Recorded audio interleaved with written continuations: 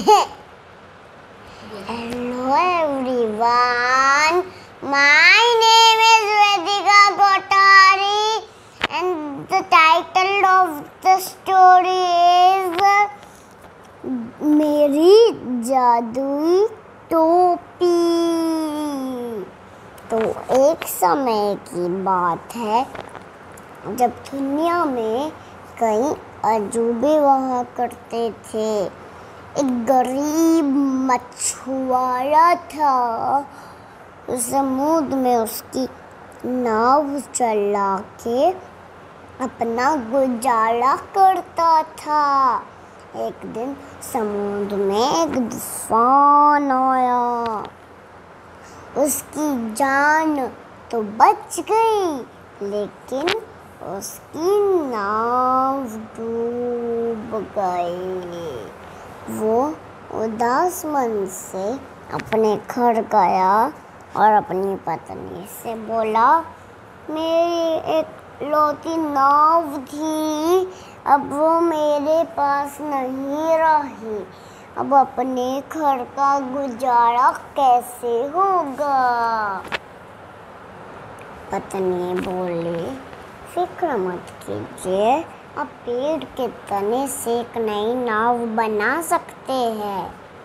वो वो वो खुश, मछुआरा खुश होकर बोला, अरे वाह! ये तो कमाल का उपाय है। ठीक है, मैं इसी समय जाऊँगा और सूखे पेड़ का तना लाऊँगा। वो शौर सूखे पेड़ की तलाश में निकल पड़ा। तो वो कहीं रास्ता भटक गया। वो लगता है कि मैं रास्ता भटक गया हूँ। गया हूँ। तो ओफो कुछ दूर पर एक मकान दिखाई दे रहा है। ठीक है, मैं वहाँ जाता हूँ और कुछ मदद माँगता हूँ। मछुआरा उस मकान की तरफ़ निकल पड़ा। तो उसने घर का दरवाज़ा खटखटाया। एक बूढ़े आदमी ने दरवाज़ा खोला और बोला, कहिए, मैं तुम्हारी क्या मदद कर सकता हूँ, नौजवान? पिछवाड़ा बोला दरअसल मैं जंगल, इस जंगल में रास्ता भटक गया हूँ। क्या मैं आपके घर एक रात रह सकता हूँ? बूढ़े आदमी ने उसको अंदर बुलाया और एक रात रहने के इजाज़त दी।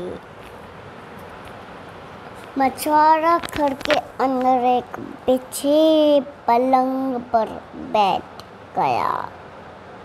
कुछ देर के बाद उस मछुआरे ने वापस कहा, सुनिए क्या मुझे, मैं बहुत भूखा हूँ।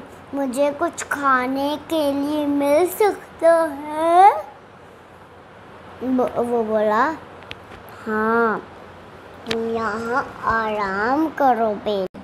तुम यहाँ आराम करो बेटे। मैं कुछ ही देर में आता हूँ, खाना लेकर। लेकिन मछुआरे को इतनी भूख लगी थी कि वो बहुत नैचैन था ये जानने के लिए कि आखिर खाने में बनना क्या है। तो वो उस कमरे में झांकने लगा, जहाँ वो बूढ़ा आदमी गया था।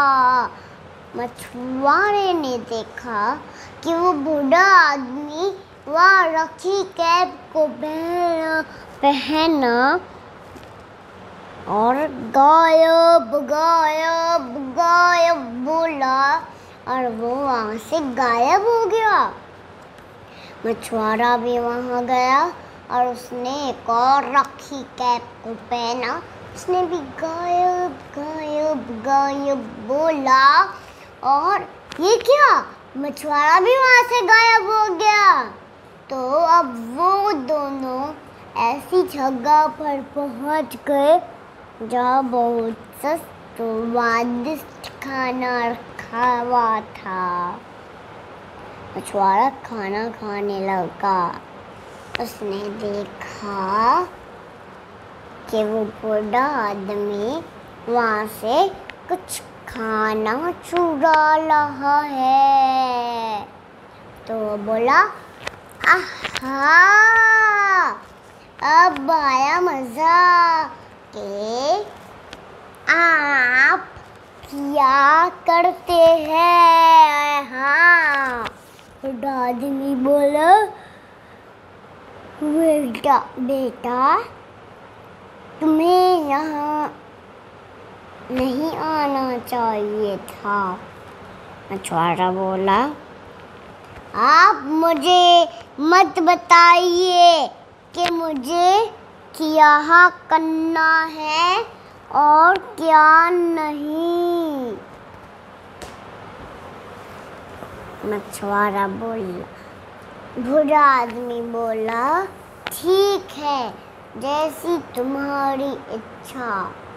मुझे यहाँ से जाना है। निकलना चाहिए। खुद आदमी वहाँ से चला गया। मछुआरे ने इस खा, स्वादिष्ट खाने का बस पूरा आनंद लिया।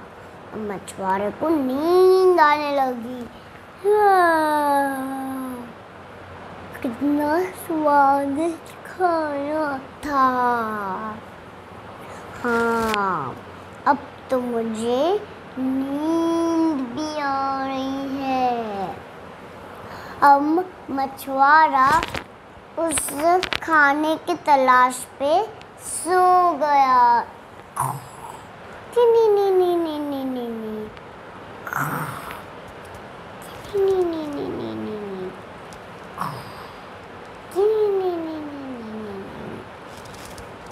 कुछ देर के बाद वहाँ एक दोही सिपाही आई और मछुआरे को उठा के महाराज के पास ले गई और बोली, महाराज, यही है वो चोर जिसे हमें तलाश थी। ये रोज हमारे रसोई घर में आके खाना चुरा लेता था। इंद्र परमा ने उसको सूखे पेड़ के तने से बांधने का बुख दिया। बुखम दिखे। दिया। तो सिपाहियों ने मापूत बाँध सूखे पेड़ के तने से मछुआरे को बाँध दिया मछुआरा सोचने लगा कुछ सोचो कुछ सोचो कुछ सोचो हाँ मुझे वो मेरी कैप पहननी चाहिए। बस, आखिरी बार मुझे वो बड़ी अच्छी लगती है। सिपाहियों ने कहा बस।